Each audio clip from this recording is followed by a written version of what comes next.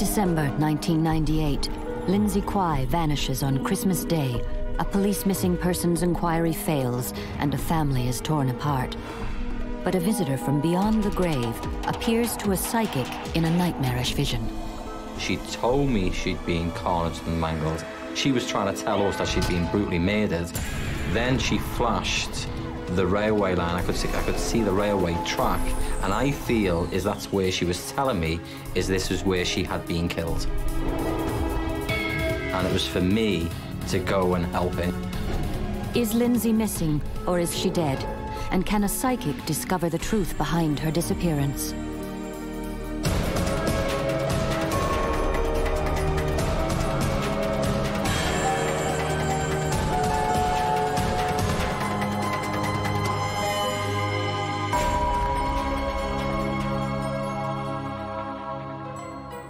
Southport, northwest England, deserted now, but every summer this seaside town attracts millions of visitors.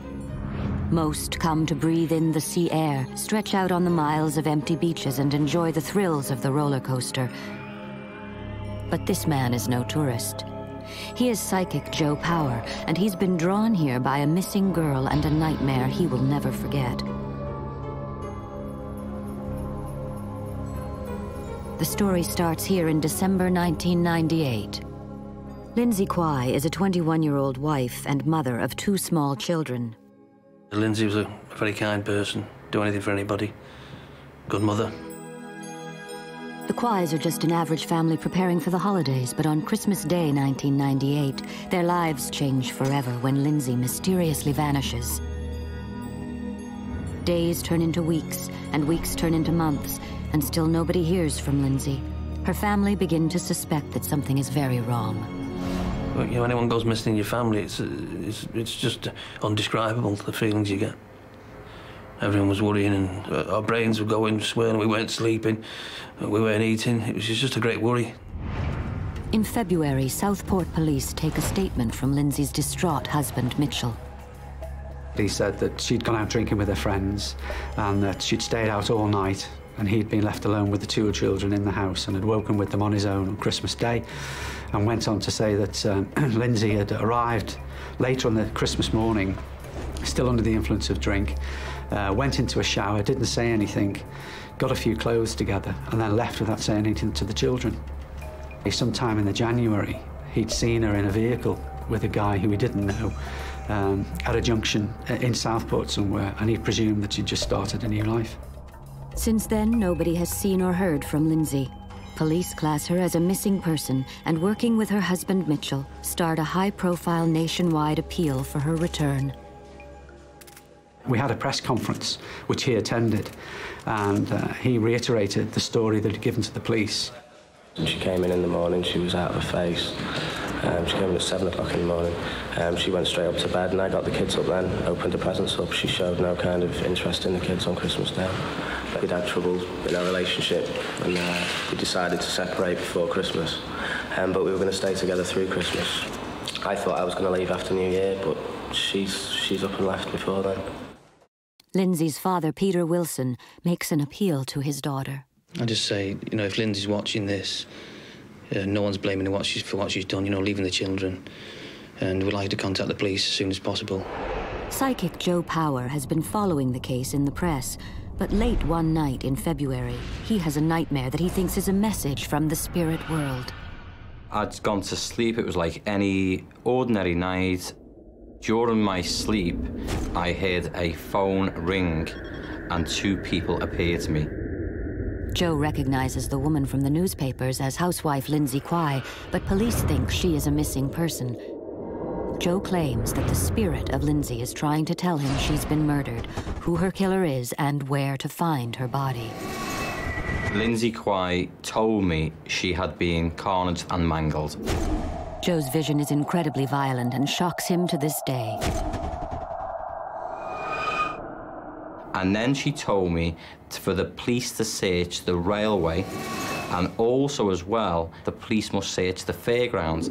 But why did Lynsey want these two areas searched? As the images intensify, Joe receives more information.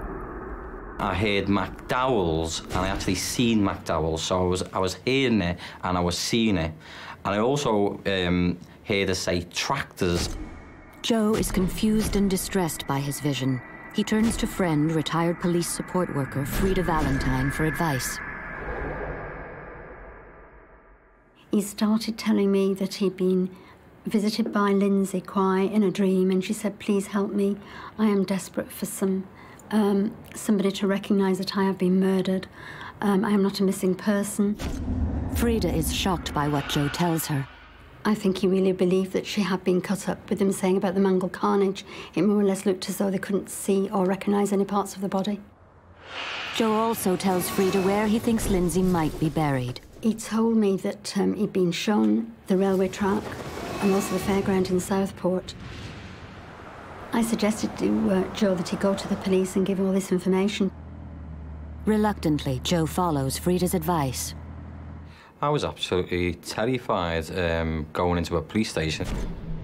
I thought they would think I was the murderer, going in with so much detailed and accurate information. But no detectives from the missing persons inquiry team is available, so Joe gives a full statement to another officer. And she reassured me that that information would be passed on to the officers in charge. If information comes in from a psychic or a medium that we feel can be corroborated or will send us in a certain direction, then my view is that we will always utilise that if it helps us. But the problem with that is that quite often it's not supported by any uh, tangible evidence. Joe never hears back from the police regarding his statement. As far as they're concerned, this is still a missing persons case. Well, it was very frustrating to me because at that time I knew this was a murder case and not a missing persons. Joe is determined to discover more about Lynsey Quy's mysterious disappearance. Has she been killed? Was she buried in the fairground or the railway? And could Joe convince the police Lynsey is not a missing person and a killer is walking free?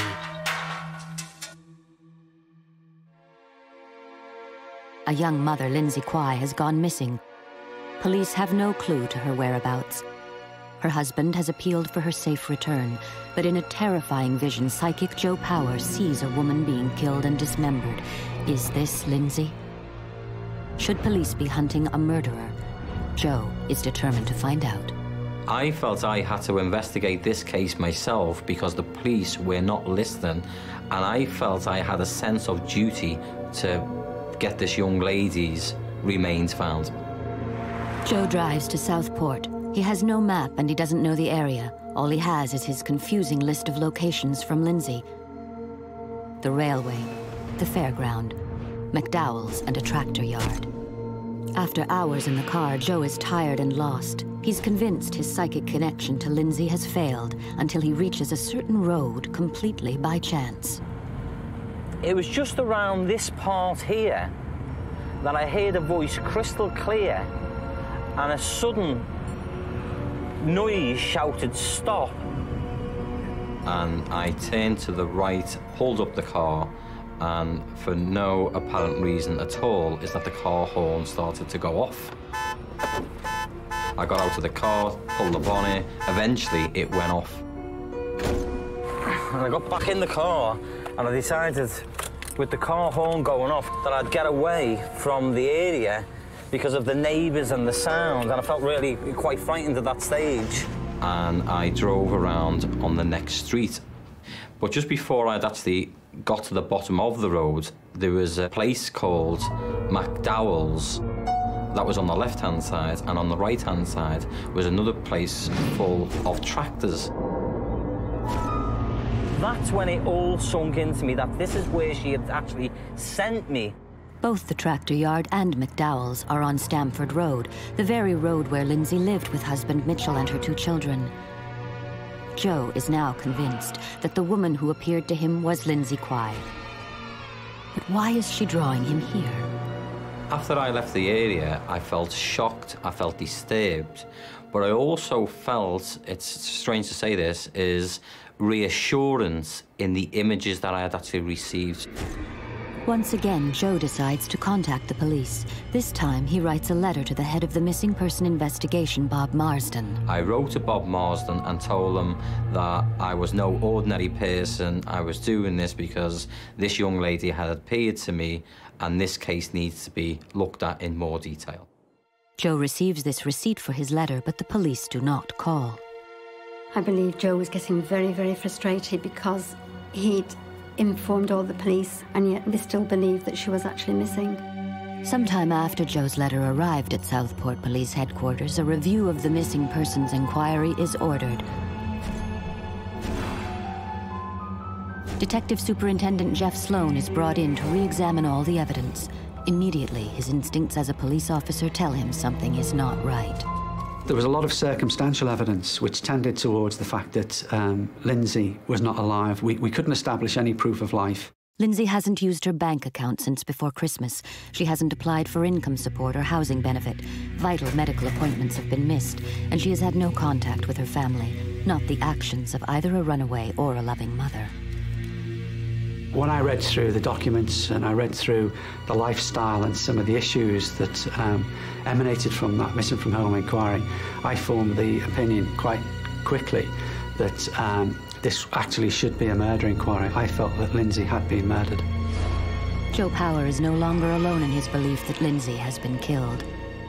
It's very frustrating, you know, knowing that this young lady had been cornered the mangled, and you have to sit there and wait for her to be found. Detective Superintendent Jeff Sloan is placed in charge of the new murder inquiry, but this isn't going to be an easy case to crack. It's very frustrating not to have a body because um, when you have a body, that's where your lines of inquiry start to develop. All we had was 22 Stamford Road, which was Lynsey's home address, where she'd lived with Mitchell. Well, the very first thing that we do is to go back and fully search the house again and the, the gardens and the area surround, immediately surrounding the house. Using the house as their starting point, the police begin one of the largest searches ever conducted in mainland England. And we actually used officers from the Royal Air Force, the JARIC, which is a reconnaissance organisation, who flew over um, and could detect any recently disturbed ground. And if they highlighted any areas, then we would send a specialist search team to go and excavate. It's an agonizing time for Lynsey's family. We're by the phone 24-7 and sometimes we get false information where mid bones had been found at one time and uh, we were given the information then we found out it was a pig, a dead pig and then when you heard about a body being found and this, that and the other, one was found in the, the River Ribble I think, you wondered if that was Lynsey. It's never ending. But the police failed to find any evidence of Lynsey. I was concerned that we hadn't found a body and I was at a loss as to where we would look to next and, and, took the decision that we wouldn't undertake any more searches or digging until it was based on intelligence that we had through. But it was, was frustrating for me. The police are forced to suspend all searches, but Lynsey's parents refuse to give up hope. They spend every waking moment looking for their daughter. Well, we searched in canals, rivers, we got stung by bees, hornets, you name it. But, uh, you know, I used to be up to my neck sometimes in freezing cold water. We couldn't stop. It was just our way of contributing towards finding Lynsey. With the police search on hold and no new information coming forward, it looks as if Lynsey's body may never be found and the case remain unsolved. But Psychic Joe Power believes this is something the spirit world would never allow. Joe thinks Lynsey's spirit is unable to rest, as once again she appears to him with a message from beyond the grave. The second time Lynsey appeared to me was at my home address, and she came to me and told me that the police were not listening to the information that I had previously provided to them. Joe's first vision led him to Lynsey's house. Now he returns to Southport to search the fairground and railway track. He has a feeling that these areas are in some way connected to her disappearance. He starts at the railway track. Joe doesn't know what he should be looking for. He's hoping his psychic powers will be his guide. When I walked along this particular part of the railway line. My hair stood up on my hand and I heard a voice, I believe that was Lynsey telling me, is that she was in this location. But if Lynsey is buried at the railway, why does Joe want the police to search the fairground as well?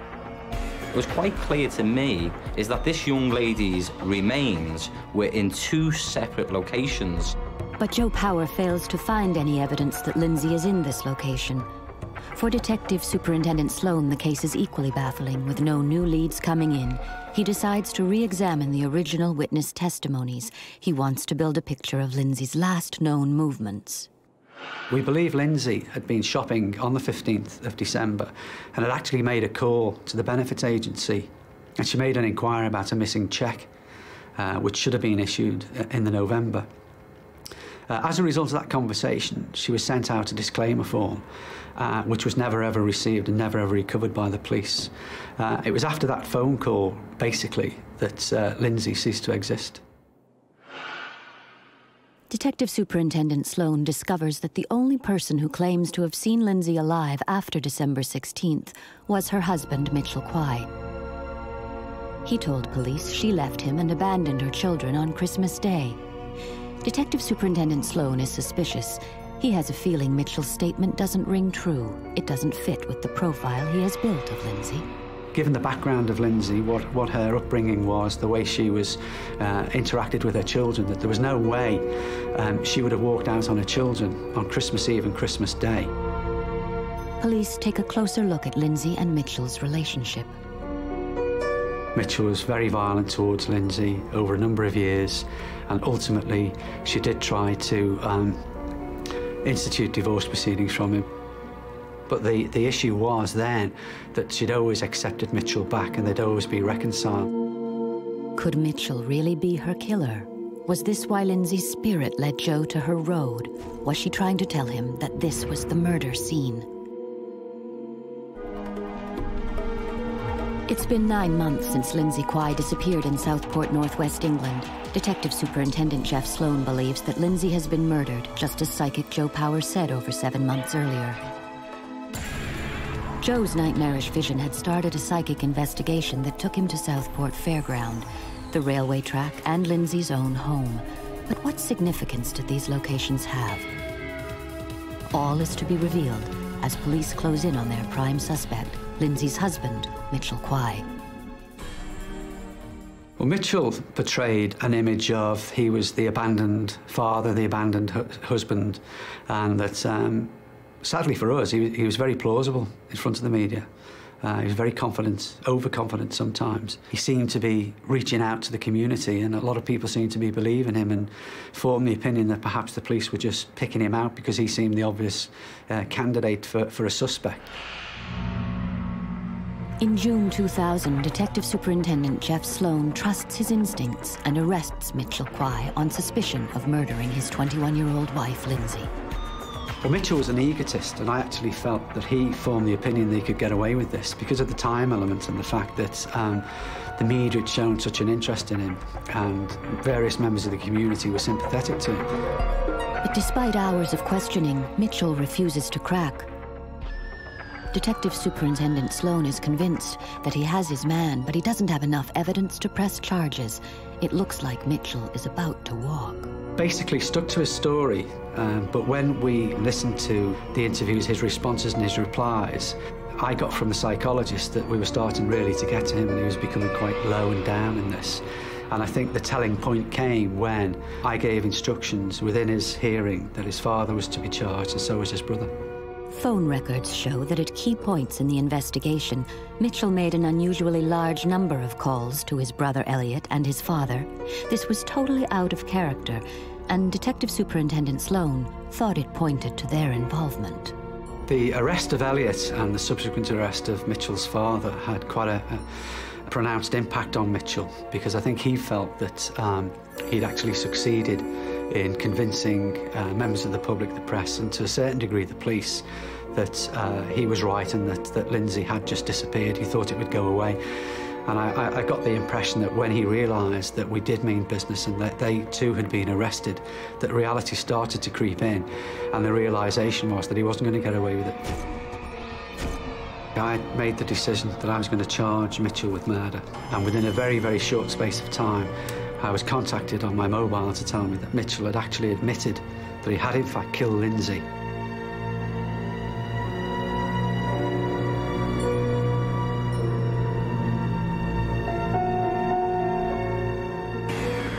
Over a year after Lynsey Quy first went missing, the truth surrounding her disappearance is finally uncovered.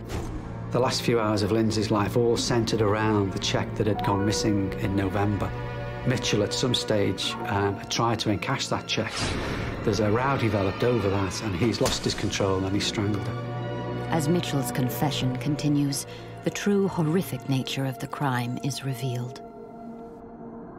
And that's when he recruited Elliot to come in and to help him to dispose of the body. And that's when he, he decided that um, he and Elliot would cut the body up in the bath with the children asleep in bed in the next room, which I thought, thought was horrific. The images of violence in Joe's dream were now explained. Lynsey was dismembered, just as Joe had said. And the scene of the crime? Lynsey's house on Stamford Road, the very place Joe had been led to 12 months earlier. How did he know these facts? I knew 100% I'd been right all the time. It was a, a very emotional case and a very upsetting case. Mitchell Quy leads police officers to the locations where he buried his wife's remains. Lynsey's torso was found near to the Pleasureland theme park at Southport behind a go-kart uh, racing track where Mitchell used to work.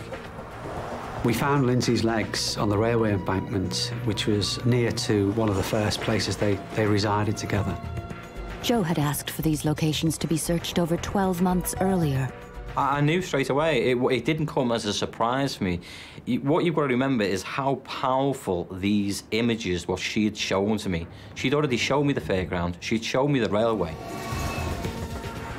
But unfortunately for Joe, at that time he was working alone. He never did receive the call to help the police. But Joe believes there is one person who recognizes the part he played in this case. Lynsey briefly appeared to me after her remains were actually found, and I heard her say thank you, and there was no more contact from this young lady. On January 16, 2001, Mitchell Quy is sentenced. Mitchell was sentenced to a mandatory life uh, term of imprisonment um, with a tariff of 18 years because of the severity of the way it disposed of his wife, Lynsey. Elliot Quy receives seven years for his part in the gruesome murder. Mitchell's father is released without charge. This case was extremely difficult to crack, um, not least because of the way that she was um, murdered, the way she was disposed of, and the way that he behaved after the murder, actually actively seeking the press and seeking public opinion on his side and sympathy. Detective Superintendent Sloan receives a special commendation for the integral part he played in the capture and conviction of this most devious of killers. Joe Power's personal investigation is as yet unrecognized. When the killers were caught, I was very satisfied that I'd done my job.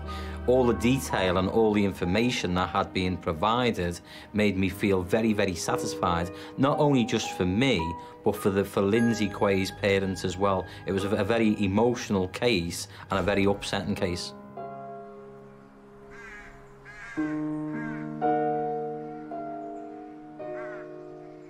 To lose Lynsey that way has affected everybody, the whole family, me included. Never going to be the same again.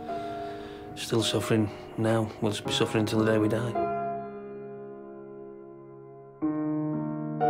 Peter, my eldest son, uh, hung himself in the loft at my house. Could never get over the fact of what they did to Lynsey after they'd murdered her. That's what led to his suicide. Two years after her vicious murder, Lynsey is finally able to rest in peace. But she leaves behind a family torn apart by tragedy. Mitchell's taken my daughter. He's taken Robin and, and Jack's mother. He's taken my son, Peter, because I blame him for that as well. He's taken a lot off the family, which we'll never forgive him for.